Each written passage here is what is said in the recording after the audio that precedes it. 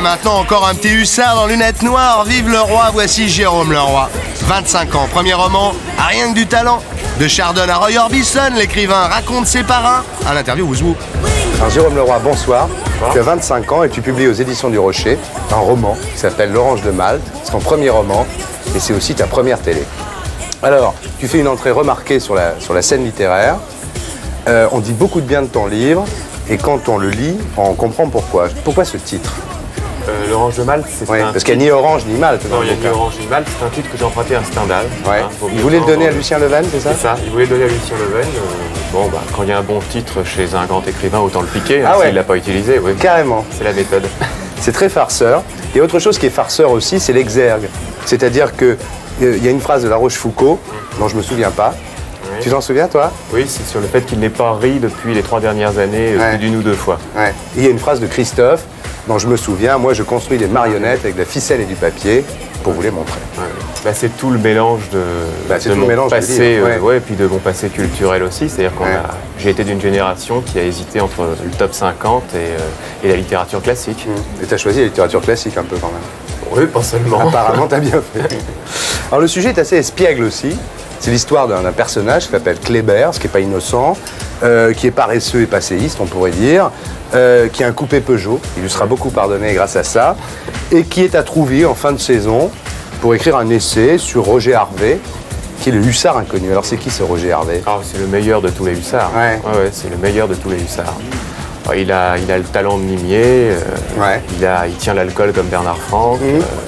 Il a la poésie de Blondin, c'est le Ouais. meilleur de tous les hussards. Ouais. D'autant plus qu'il est fictif. C'est ça qui est Oui, Il extraordinaire. n'a jamais existé. Alors au début, moi je me disais en lisant le bouquin, mais enfin, il est vraiment ici sur Roger Harvey et c'est très bien foutu parce qu'il a connu Blondin, effectivement, il a connu Franck, il, il les a tous connus. Alors, ce Kléber vient d'être quitté par une Agnès qui était sa femme et rencontre Cynthia. Voilà. Bah, euh, C'est-à-dire qu'il a quitté une femme riche, Ouais. très riche, et euh, ça c'est très ennuyeux, pour trouver une adolescente, euh, oh, oui, une adolescente, Ouais. très maslevienne. Ouais, un petit ouais, peu, ouais, c'est vrai. Elle dit d'ailleurs. Oui, elle dit. Que ses copines avaient fait l'amour avec ouais. Ses copines avaient été les, les maîtresses de Maznev. Donc bah, c'était pour situer le personnage. Euh, oui, bah, il est entre deux femmes, il est entre plusieurs lieux, il est en train d'essayer d'écrire un livre. C'est un personnage en mouvement. C'est toute la panoplie littéraire des années 50. Oui, mais c'était mon livre. euh, Enfin, j'ai dit quelque part que c'est un, un catalogue d'enthousiasme. Pour Mm. moi, catalogue, c'est pas péjoratif. hein, c'est vraiment, j'ai voulu dire, voilà les gens que j'ai aimés. Mm. On reproche souvent au, au premier roman d'être euh, sous influence. Bah, moi, je m'en suis tiré par une pirouette. J'ai dit, bah voilà, clairement. Ah oui, c'est clair. euh, clairement, voilà les gens à qui je dois quelque chose. Alors c'est très néo, nouveau hussard. Hein oui, enfin, hein l'appellation me gêne un petit peu. Ouais. C'est en tout cas un livre qui rend hommage, entre autres, au hussard. Parce que Mm. je pars de La Rochefoucauld et Mm. puis euh, je m'arrête à effectivement une lignée et le fictif Harvey. Ouais. Euh, oui, mais je revendique tout à fait, de toute manière, la, la parenté. Ah, Il y a tout pour plaire dans ce bouquin. hein. Tu me dis, ah, moi je suis le client type, mais enfin c'est vrai qu'il y a tout pour plaire. hein. C'est un peu mode quand même, non? Tu trouves pas? C'était le risque. Euh, ce que j'ai essayé de faire, c'est plutôt justement de les faire sortir de la mode, pas de les faire rentrer au musée pour autant, Ouais. mais de dire euh, aux gens qui vont venir, qui ont été victimes d'un terrorisme universitaire où il y avait que Duras et Robe Grillet, de leur dire, bah voilà, ces gens-là ont existé. Mm.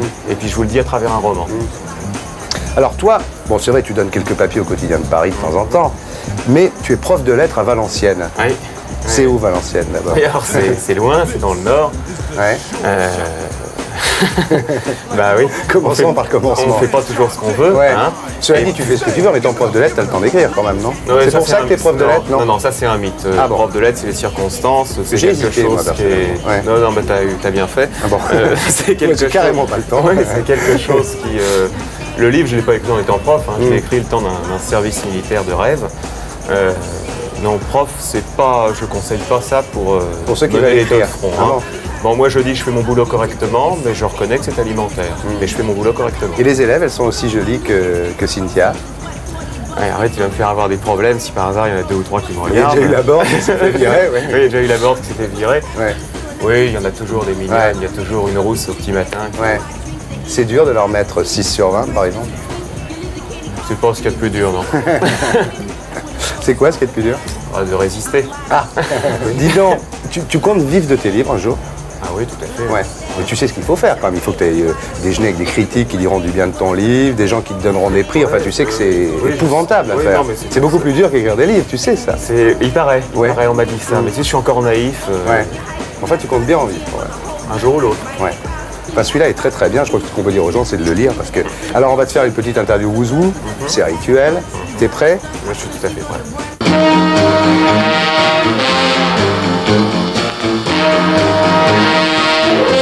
Roger Dimier, alors.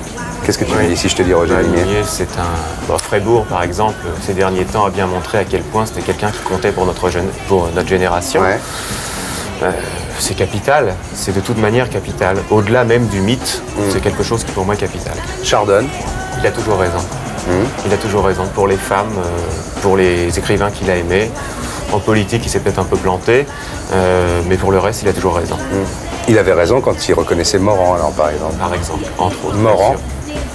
Morand, c'est euh, c'est un maître. Il fera partie des. À mon avis, c'est un jeu que j'aime bien. Il paraît que c'est risqué, mais se demander ceux qui resteront de toute ouais, façon. ouais. Morand, j'en suis sûr. Il y a quelque chose d'indémodable. C'est dur comme du diamant, Morand. Retz. Le cardinal, Ouais. c'est. Ça, c'est une sorte. Lui aussi, c'est un mythe. C'est le type qui a tout fait pour éviter d'être d'être curé, hein, Mm. et qui se battait en duel, et qui connaissait euh, des femmes qui chevauchaient à travers l'Italie. Enfin, c'est l'aventurier type. Mm. L'aventurier et l'écrivain en même temps. Celui qui a. C'est bien avant Ballereau, il incarne euh, le mythe de, de l'écrivain aventurier. La Rochefoucauld. Alors La Rochefoucauld, c'est sûrement mon préféré. C'est-à-dire qu'il a su dire l'essentiel à chaque fois en quelques mots. C'est quelqu'un qui m'a marqué profondément. C'est rare à notre époque un écrivain, un jeune écrivain de 25 ans qui parle de La Rochefoucauld, non? Hmm, oui, mais. Enfin, t'es même le seul, je te dirais, c'est pas Oui, que c'est rare. Il y a François Bock, Ouais. il paraît, qui aime Mmh. beaucoup La Rochefoucauld. Euh, moi, ce que j'aime, c'est le, oui, c'est le moraliste, c'est celui qui a su dire en quelques mots euh, l'essentiel. Mmh. Euh, Fitzgerald. Fitzgerald, c'est euh, c'est aussi en plus le mythe de l'Amérique. C'est que c'est toute la panoplie littéraire qui me touche moi en tant que Français, plus cette dimension américaine qui est qui est quand même très poétique. Ça aurait pu être un hussard, Fitzgerald. Fitzgerald, ça aurait pu être un hussard. Ouais. ouais, ouais. Marguerite Duras, parce que là, bon, le bouquin se passe à Trouville, euh, où Marguerite Duras a ses quartiers euh, d'été, d'hiver, enfin bon, et on la voit à un moment euh, rentrer du Monoprix en poussant son vrai, hein. crédit. C'est vrai. Ah, c'est vrai, c'est vrai. Ça, tu la vrai. détestes, cette Je la Marguerite Duras.